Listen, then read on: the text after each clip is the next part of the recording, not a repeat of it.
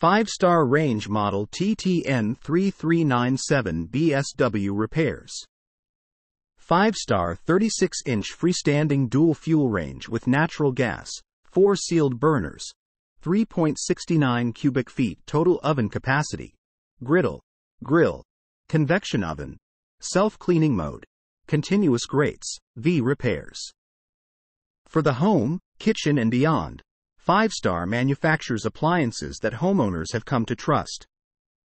Even a trustworthy appliance requires occasional maintenance or repair, however. If you're in need of FiveStar appliance repair from experienced professionals, your local appliance helper can help. Surface Element Board The surface element board has relays that regulate the power supply to the burners. If one or more of the relays fails, the surface element won't work. If two or more burners fail at the same time, this indicates that the surface element board is likely at fault. If only one surface element won't work, use a multimeter to test the element for continuity.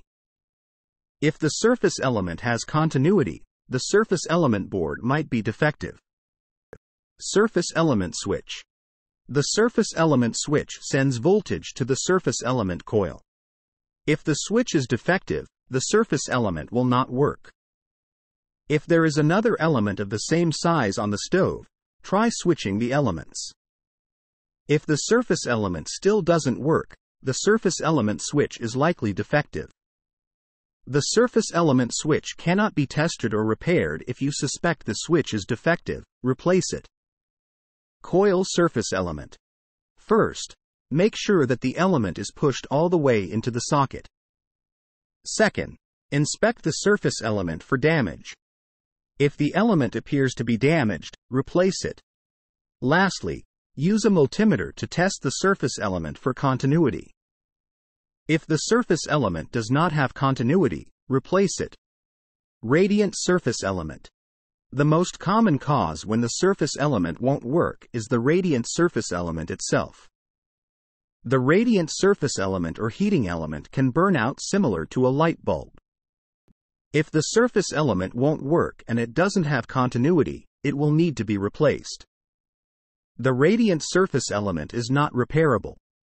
Solid surface element.